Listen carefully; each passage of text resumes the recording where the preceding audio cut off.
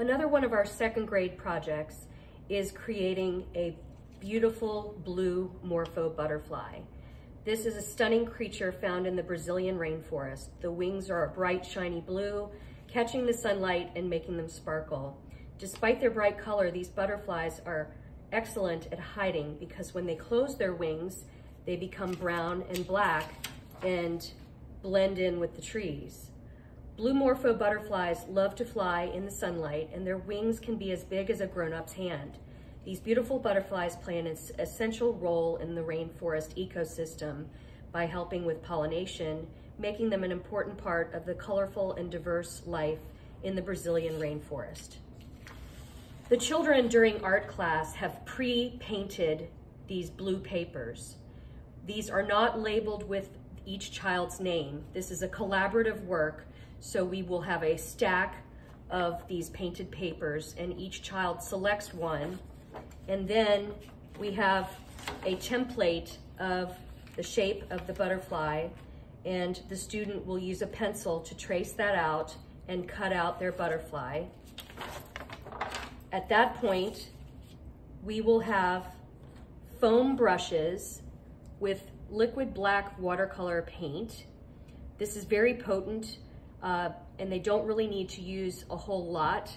It is translucent and we just want the children to paint the outer perimeter of the butterfly wings with the water with the watercolor paint as well as the body of the butterfly. Then using the fine tip of the foam brush, they can make the veins and the designs of the butterfly wings.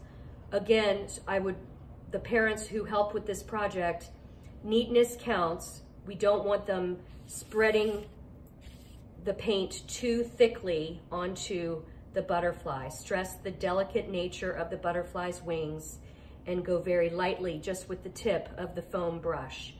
This will need to dry for a couple of minutes and then we will have white Cray-Pas available to go over the the butterfly's body as well as add dot details on the outer edges of the butterfly. Remembering and reminding the children that this is a symmetrical butterfly. So any, any number of dots on one side should equal the same amount on the other side.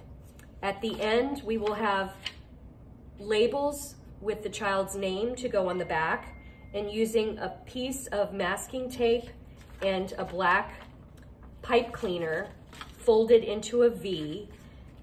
The parents can help uh, the children attach the black pipe cleaners for the antennae.